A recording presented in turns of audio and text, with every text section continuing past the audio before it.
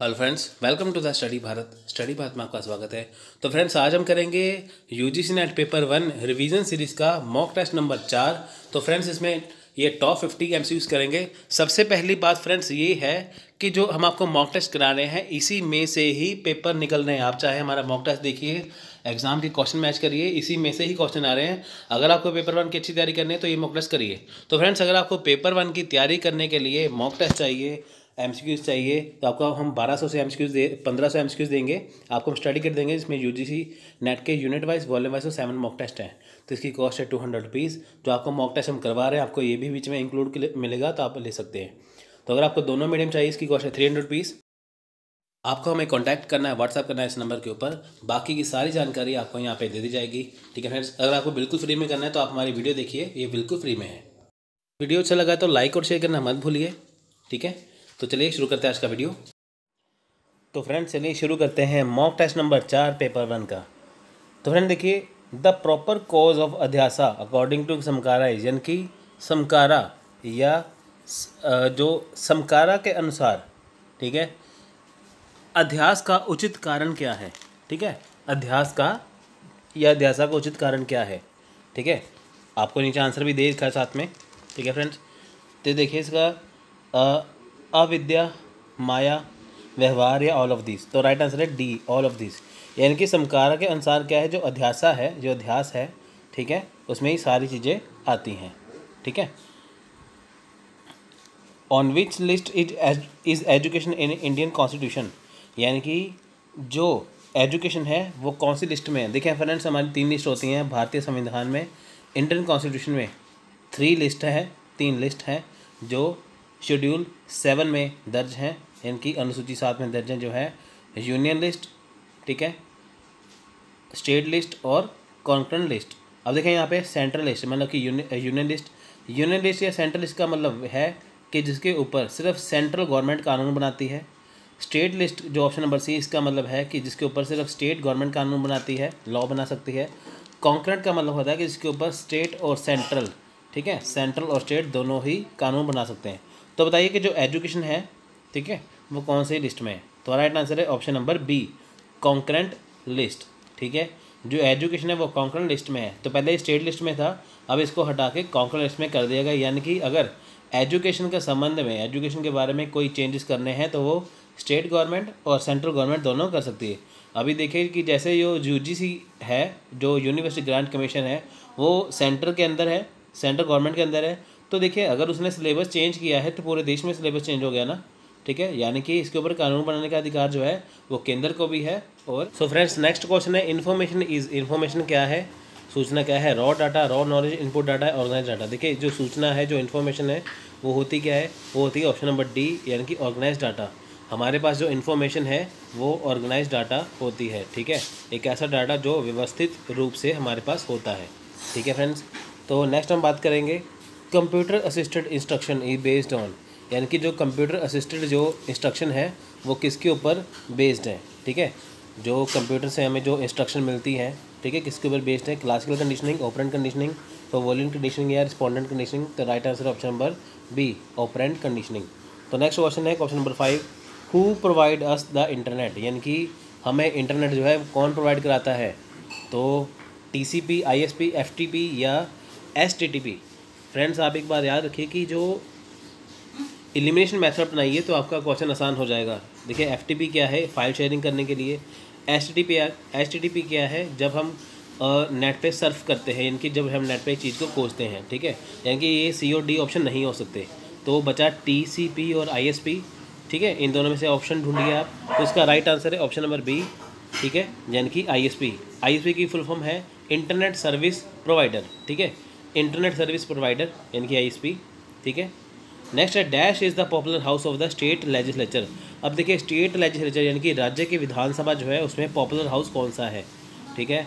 Legislative assembly legislative council legislative सभा या जिला काउंसिल तो राइट आंसर है option number A legislative assembly ठीक है फ्रेंड्स किसी भी राज्य है, जैसे हमारे देश में है, लोकसभा, राज्यसभा है ना पार्लियामेंट के अंदर। अब देखिए, लोकल लेवल पे, स्टेट लेवल पे हम पार्लियामेंट तो कह नहीं सकते। वहाँ पे क्या होता है, वहाँ पे होता है स्टेट लेजिस्लेचर। जैसे देश में पार्लियामेंट का काम है, वैसे ही राज्यों में काम होता है स्टेट लेजिस्लेचर का। तो जैसे देश में लोकसभा है, राज्यसभा है तो हम स्टेट में उसका नाम चेंज कर देते हैं। उनका नाम होता है लेजिस्लेटिव असेंबली और काउंसिल। तो हर एक राज्य में काउंसिल तो है नहीं है, सिर्फ़ हमारे सात राज्यों में, भारत के जो उनतीस राज्य हैं, वहाँ पे क्या है, सात राज्यों में सेवन स्टेट में ही असेंबली और काउंसिल दोनों हैं तो जो बाईस राज्य बचते हैं बाकी, वहाँ पे अकेली असेंबली है। तो पॉपुलर हाउस कौन सा हुआ है? Assembly legislative assembly so next question है which of the following is wrong अब देखिए, इनमें से क्या एक चीज़ गलत है, ठीक है? अब देखिए ऑप्शन इतने बड़े हैं, मैं आपके सामने ऑप्शन पढ़ूँगा नहीं क्योंकि लेक्चर हो जाएगा लंबा। तो आपको सीधे इसका आंसर बता देता हूँ कि क्या गलत है। ऑप्शन नंबर सी यानी कि the governor is the real head of the state administration देखिए होता क्या है कि जैसे किसी राज्य, जो गवर्नर है, किसी राज्य का होता है हेड पर वो रियल हेड नहीं है। रियल हेड कौन होता है? चीफ मिनिस्टर जैसे हमारा जो इंडिया है, जो हमारा भारत है, वहाँ पे रियल हेड कौन है? हमारा प्राइम मिनिस्टर ठीक है? तो नॉमिनल हेड कौन है? वो है, वो देखिए रियल हेड तो है हमारे जो है प्राइम मिनिस्टर होते हैं, ठीक है? तो जो वैसे किन के नाम पे काम होता है सारा? राष्ट्रपति के नाम पे कि प्रेसिडेंट के नाम पे। सेम वैसे ही जो स्टेट है, वहाँ पे क्या है? कि जो रियल हेड है, वो है चीफ मिनिस्टर तो बाकी सारे काम किसके नाम पे होते हैं, वो होते हैं गवर्नर के नाम पर। अब देखिए यहाँ पे लिखा है कि रियल हेड रियल हेड तो चीफ मिनिस्टर ठीक है? तो ये गलत है यहाँ पे, ठीक है? The maximum speed of modem is देखिए मॉडम की मैक्सिमम स्पीड क्या है? मॉडम क्या है? आपने अगर इंटरनेट लगाया हुआ है घर पे, ठीक है? तो जिसके ऊपर इंटरनेट लगता है, जो बॉक्स होता है, वो होता है मॉडम इसकी मैक्सिमम स्पीड कितनी होती है? तो राइट आंसर है ठीक है twenty two sorry thirty two fifty six या सिक्सटी फोर या one twenty eight K B P S तो right answer option number B fifty six K B P S यानी कि किलो बाइट पर second ठीक है? के बी एस की के बी पी एस की फुल फॉर्म होती है किलो बाइट पर सेकेंड ठीक है?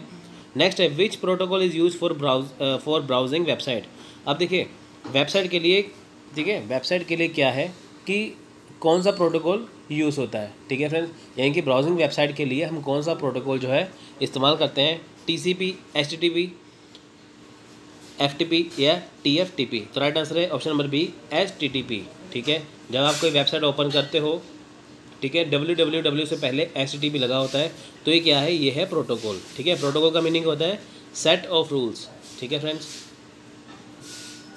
नेक्स्ट है which is the part of I P देखिए आई पी का पार्ट क्या है? यानी कि आई पी का इनमें से पार्ट क्या है? ठीक है? इंटरनेट प्रोटोकॉल का क्या पार्ट क्या है?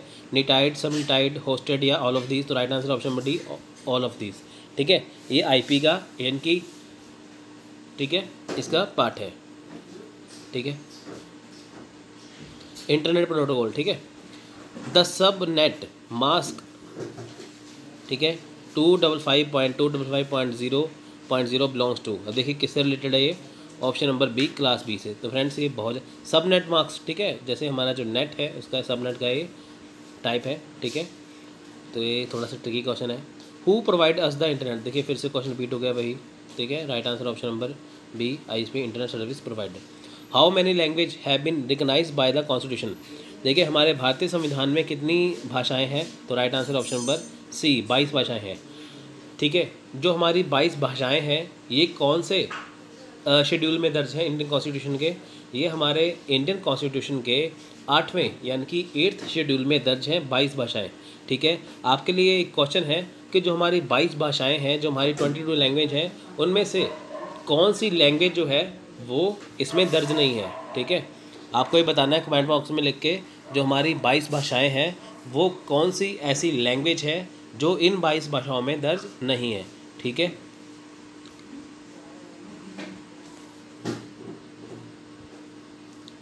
Generally in federal type of universities, the organizational pattern of course. ठीक है फ्रेंड्स अब देखिए क्वेश्चन क्या बनता है यहाँ पे? क्वेश्चन ये कह रहा है कि आमतौर पर संख्य प्रकार के जो विद्यालय हैं, जो सेंट जो फेडरल टाइप की जो यूनिवर्सिटी हैं, वहाँ पे जो सिलेबस है, ठीक है, उसका पैटर्न होता क्या है? देखिए देखिए आपके सामने चार ऑप्शन है उसका right answer option number A post graduate courses in university campus and graduate course in constituent college यानी कि विश्वविद्यालय परिसर में जो ग्रेजुएशन जो हो, जो ग्रेजुएट जो कोर्सेज होते हैं वो, और जो दूसरे कॉलेज है, उनमें क्या है? सेम जो है, वो सिलेबस पाया जाता है, ठीक है? यानी कि जो पोस्ट ग्रेजुएट कॉलेज है वहाँ जो पोस्ट ग्रेजुएट जो कोर्सेज हैं यूनिवर्सिटी में होते हैं, जो ग्रेजुएट जो कोर्स होते हैं, वो कहाँ पे होते हैं? कॉलेज में। ठीक है? यानी कि फेडरल टाइप की अगर हम यूनिवर्सिटी की बात करें तो अगर आपको वहाँ पे पोस्ट ग्रेजुएट करना है तो आपको यूनिवर्सिटी जाना पड़ेगा। अगर आपको ग्रेजुएशन करनी है तो आपको कॉलेज जाना पड़ेगा, ठीक है? सो नेक्स्ट क्वेश्चन है which of the following is not related to Indian education commission recommendation इनमें से क्या इंडियन एजुकेशन जो कमीशन जो भारत की शिक्षा नीति, जो भारतीय शिक्षा आयोग है, उन्नीस सौ चौंसठ से छियासठ, यानी कि सिक्सटी फोर से सिक्सटी सेवन तक, इनमें से क्या उससे रिलेटेड नहीं है, ठीक है? तो आपके सामने ऑप्शन रखे हैं, आप इसका देखिए, ठीक है? तो इसका राइट आंसर है option number D role of registrar ठीक है? ये इससे रिलेटेड नहीं है। Submerged hydrophytes have commonly dissected leaves for option यानी कि जो जलमग्र हाइड्रोफाइट्स हैं, में आमतौर पर विकल्प के लिए विच्छेदित होते हैं, ठीक है? सब मज हाइड्रोफाइट्स ठीक है? ठीक है, आपके सामने क्वेश्चन ये चार है। ऑप्शन नंबर ये आपके सामने ऑप्शन चार रखे हुए हैं। इसका right answer option number C reducing effect of water current ठीक है? यानी कि जो जल, जो पानी की जो धारा बह रही है, जो वाटर की जो जो पानी जो बह रहा है, उसका ही प्रभाव कम कर देता है। ठीक है? X ray films are source of which of the following gas X ray जो फ़िल्म है, किससे रिलेटेड है? S O two C O two N O T S O three तो राइट आंसर है option number C N O two ठीक है? The maximum size of fly ash यानी कि जो हवा में जो फ्लाई ऐश यानी कि सुबह, ठीक है, जो उड़ती है, ठीक है, जो राख उड़ती है, उसका साइज़ क्या है? मैक्सिमम साइज़ क्या है? ऑप्शन नंबर सी ठीक है वन थाउज़ेंड नैनोमीटर इसे नैनोमीटर बोला जाता है, ठीक है friends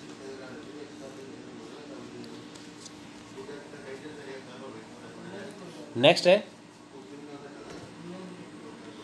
Howling and hooting by the audience during a public speech in is an example of ठीक है? यानी कि एक सार्वजनिक भाषण के दौरान दर्शकों द्वारा हॉलिंग और हुटिंग इसका एक उदाहरण है। देखिए, होता क्या है कि जब एक भाषण होता है किसी जगह के ऊपर, वहाँ पे क्या है कि जो दर्शक हैं, वो हुटिंग करते हैं इनकी चिल्लाते हैं, ठीक है? तो इनमें से क्या एग्ज़ाम्पल है? पॉजिटिव फीडबैक है न्यूट्रल है कॉम्प्लीमेंट्री है या नेगेटिव फीडबैक तो राइट आंसर डी यानी कि नेगेटिव फीडबैक अब देखिए, जैसे कुछ स्टेज लगी हुई है वहाँ पे क्या है? अगर वहाँ पे कोई अपना प्रोग्राम करने ना आए तो लोग हुटिंग करने लगते हैं ना जैसे, है ना? तो क्या है? जैसे आप कोई फ़िल्म देख रहे हो, अगर कोई सीन बोरिंग लगे थिएटर में, है ना? सिनेमा हॉल में तो वहाँ पे क्या है? हुटिंग करने लगता है ना वो।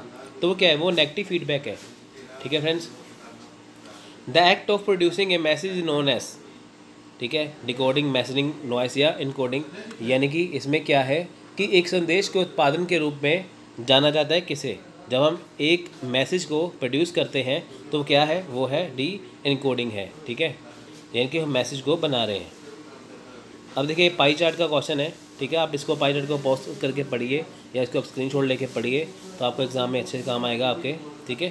तो देखिए, आपके साथ इस, सीधे ही आपका मैं इसका ऑप्शन बता दूँगा, साथ में इसका सोल्यूशन भी आपको मैं बता दूँगा तो आपको इसका सोल्यूशन देख लेना है, ठीक है? तो राइट आंसर इसका ऑप्शन नंबर बी तो ये इसका सोल्यूशन ठीक है फ्रेंड्स फोर्टीन परसेंट इसका सोल्यूशन सॉरी फोर्टीन परसेंट इसका सोल्यूशन है, ठीक है? तो यहाँ पे मैंने ये कर भी रखा है कि ये कैसे है, ठीक है? आप इसको देखिए, इसको आप निकाल के देखिए। आपको मैंने यहाँ पे ऑप्शन नंबर भी बता रखा है, साथ में इसका सोल्यूशन भी है। देखिए, ये फिर से परसेंटेज का क्वेश्चन है। परसेंटेज एवरेज रेशो ठीक है? अगर आपको डी करना है तो आपको ये आना ही चाहिए, ठीक है? ये ऑप्शन नंबर डी इसका राइट आंसर है, यानी कि टू पॉइंट फाइव देखिए, कैसे आया, मैंने यहाँ पे निकाला हुआ है, ठीक है? ट्वेंटी थ्री का आंसर है ऑप्शन नंबर ए तो यहाँ पे मैंने इसका आंसर निकाल रखा है। आप चाहे इसका स्क्रीनशॉट लीजिए, चाहे इसको लिखिए, आपकी मर्ज़ी है। ठीक है? ये एवरेज का क्वेश्चन देखिए नेक्स्ट है ट्वेंटी फोर्थ का। तो ऑप्शन नंबर डी इसका राइट आंसर है। ये भी इसका सोल्यूशन दे रखा है। तो ट्वेंटी फाइव का आंसर है ऑप्शन नंबर डी ठीक है? इसका भी यहाँ पे दे रखा है मैंने।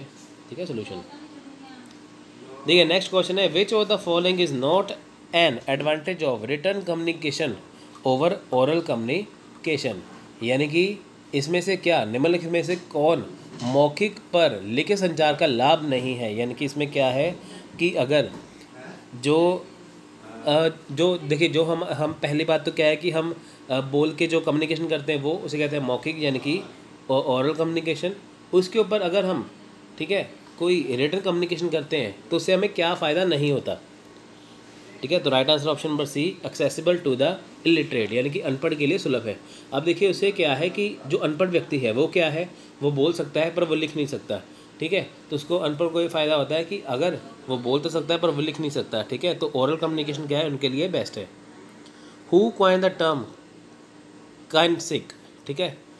ये टर्म किसने दी है? काइनसिक की। ठीक है? तो इसका राइट आंसर है option number D Ray Birdwhistell ठीक है? रे बर्ड विस्टेल नेक्स्ट है वट इज़ हैप्टिक्स हैप्टिक्स क्या है? ठीक है? Study of facial expression study of eye behaviour study of touching या स्टडी ऑफ़ बॉडी मूवमेंट तो right answer option number C study of touching ठीक है? देखिए नेक्स्ट है, ये आपके सामने क्वेश्चन दे रखे हैं, देखिए टू एंड थ्री ठीक है?